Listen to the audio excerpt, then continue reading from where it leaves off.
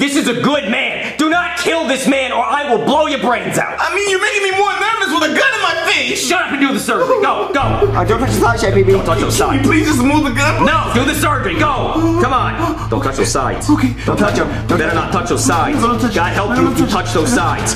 Don't touch your sides.